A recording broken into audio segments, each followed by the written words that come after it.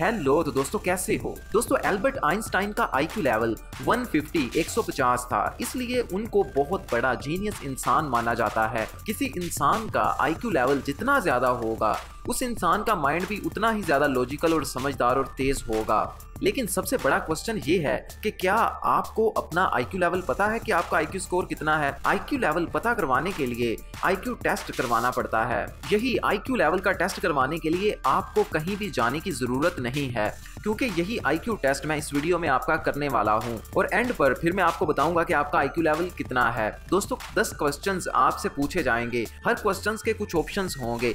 उन ऑप्शन में से एक ऑप्शन ठीक होगा। आपने काउंट करते जाना है कि आपने कितनी बार ठीक ऑप्शन को सिलेक्ट किया है। क्वेश्चन नंबर वन आठ हज़ार के आधे का चौथाई हिस्सा कितना होता है? Option A 500 option B 1000 option C 2000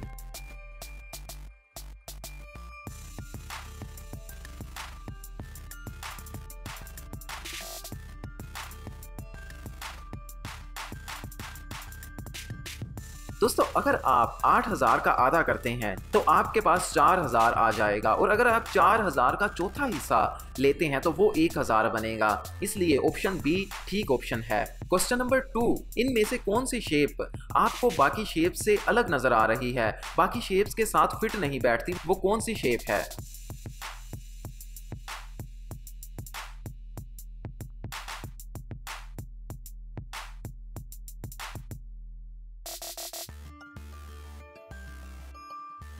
दोस्तों, अगर आप गोर के साथ देखोगे तो आपको मालूम होगा, ये जो पहले वाली शेप है, इसको ही फ्लिप करके यहाँ पर दिखाया गया है और इसी शेप को बाद में फ्लिप करके यहाँ पर इस तरह दिखाया गया है और ये शेप भी फ्लिप हुई है। ये चारों शेप एक जैसी ही हैं, लेकिन बस फ्लिप की हुई हैं। लेकिन, दोस्तों, अगर आप बात करें इस शेप की तो इस शेप में ये जो एरोज हैं और स्केयर और सर्कल है, इसकी पोजीशन ही चेंज हो जाती है। इसलिए ये शेप बाकी शेप्स के साथ फिट नहीं बैठती। सही आंसर ये वाली शेप था। अगर आपको ये पता चल गया था तो क्या ही बात है। क्वेश्चन ये थोड़ा सा मुश्किल था। क्वेश्चन नंबर फोर दोस्तों, इन सारी शेप्स को देखकर बताएँ कि इनमें से आगे कौन सी शेप आएगी।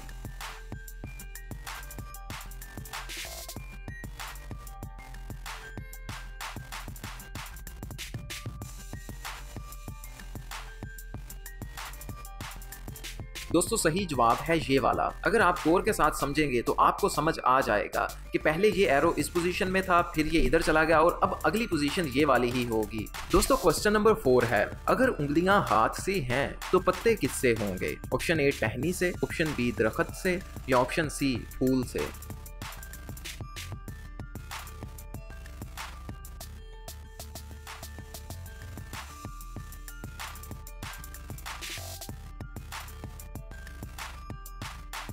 दोस्तों, सही जवाब है टहनी से। जिस तरह उंगलियाँ हाथ पे लगी होती हैं, इसी तरह पत्ते टहनी पे लगे होते हैं। क्वेश्चन नंबर फाइव दोस्तों, आप इन नंबर्स को अच्छी तरह से देखें और अपनी सोच समझ से पूरी अच्छी तरह से बताएँ कि जहाँ पर कार खड़ी है, वहाँ पर कौन सा पार्किंग नंबर होगा।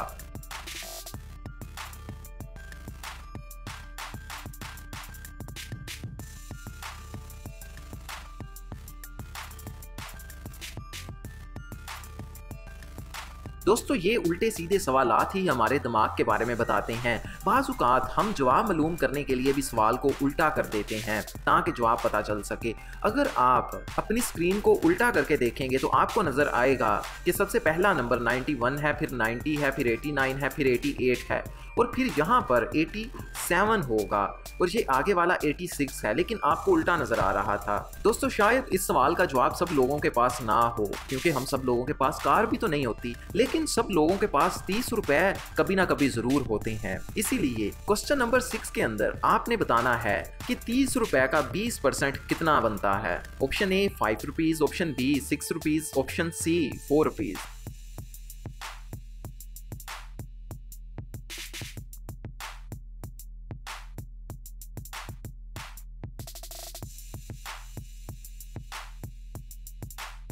दोस्तों, इसका सही जवाब है six rupees question number seven एक से लेकर पचास के दरमियान कितनी बार पाँच का डिजिट आता है?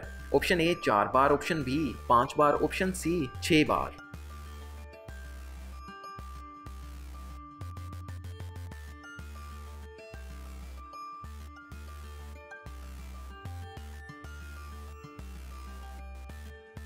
दोस्तों, पाँच, पंद्रह, पच्चीस, पैंतीस और पैंतालीस, इनमें से हमें पाँच बार पाँच मिलता है और छठी बार पाँच नंबर पचास के अंदर आता है और ये टोटल छह डिजिट्स बन जाते हैं। इसलिए अगर आपका जवाब सिक्स था तो आप एकदम राइट हैं। क्वेश्चन नंबर एट, अगर दो दिन बाद सोमवार है तो कल क्या था? ऑप्शन ए, हफ़्ता, ऑप्शन बी जुमा या ऑप्शन सी, जुमेरात।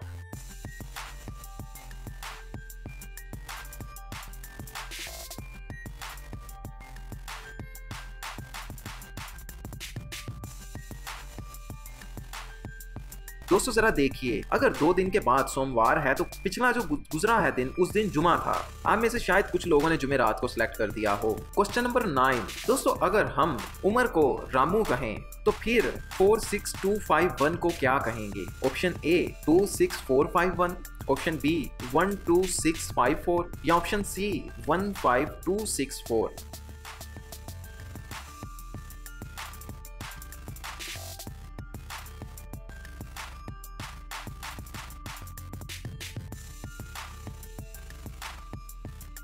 दोस्तों आईक्यू टेस्ट करते हुए कभी कभार तस्वीर को उल्टा कर दिया जाता है, लेकिन कभी कभार अल्फाज को भी उल्टा कर दिया जाता है। गौर से देखिए, उम्र को उल्टा करके रामू बनता है। इसी हिसाब से अगर आप four six two five one को उल्टा करेंगे तो one five two six four आएगा। कमेंट सेक्शन में जाके बताइएगा कि आप में से किस किस को पता चल गया था कि जवाब ये वाला है। क्वेश्चन नंबर टेन, ये नंबर्स का सीक्वेंस है, यानी कि एक के बाद दो आता है, दो के बाद चार आता है, चार के बाद सात आता है।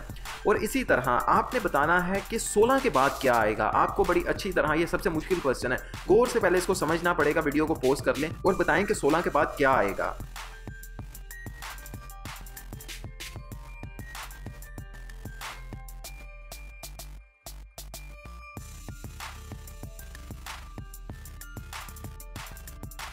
दोस्तों राइट आंसर है 22 दोस्तों, इस सीक्वेंस को कैसे समझे? मैं अभी बताता हूँ। एक कौन सी पोजिशन पर है? पहली पोजिशन पर है आपने पहली पोजिशन और एक, इन दोनों को जमा कर दिया, दो आ गया। दो कौन सी पोजीशन पे है? दूसरी पोजीशन पे है।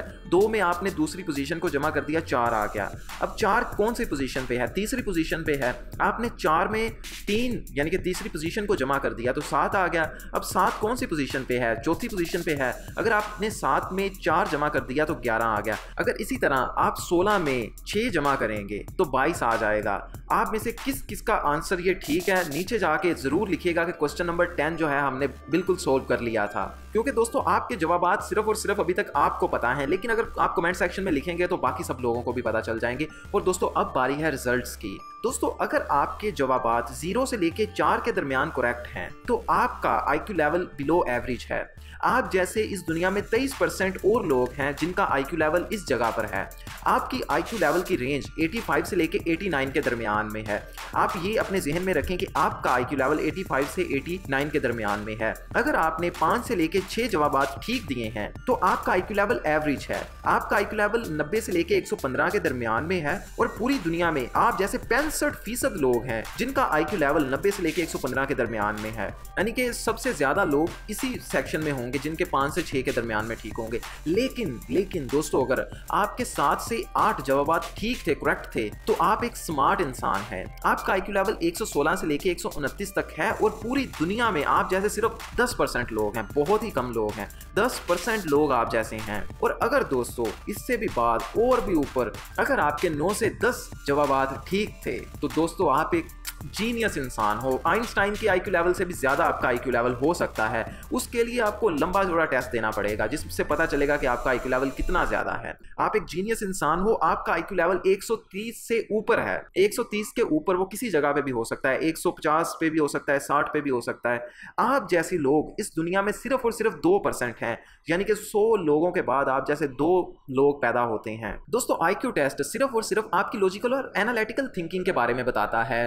आप किस तरह शेप्स को पैटर्न्स को रिकॉग्नाइज करते हैं, इस चीज़ के बारे में बताता है। लेकिन आईक्यू टेस्ट आपकी क्रिएटिविटी के बारे में कुछ नहीं बताता कि आप कितने ज़्यादा क्रिएटिव हो, कितने ज़्यादा इमोशनल हो। इसलिए आईक्यू टेस्ट से आप ये नहीं पता कर सकते कि आप कितने ज़्यादा कामयाब होंगे। दोस्तों, आपकी जो कामयाबी है, वो इस चीज़ पर डिपेंड करती है आप कितने ज़्यादा एक्शन लेते हैं। अगर आप एक्शन नहीं लेते टाल मटोल करते रहते हैं तो आप नाकाम हो जाएँगे। इसी चीज़ पे मैंने पिछली वीडियो बनाई है, जिसके अंदर मैंने दस रूल्स बताए हैं, जिससे कि आप कभी भी टाल मटोल नहीं करोगे और अपने कामों को बड़ी जल्दी के साथ करते रहोगे, उस वीडियो को आपने लाजमी देखना है। ये ऊपर आ रही है, यहाँ पे क्लिक करके भी देख सकते हैं। मेरे यूट्यूब चैनल हमजा जवेद पे जाएँ, वहाँ से भी जाके देख सकते हैं। मैं आपको अपनी किसी पिछली वीडियो में मिलता हूँ, जो आप मेरे यूट्यूब चैनल पर जाके देखेंगे। ओके, बाय, अल्लाह हाफिज़।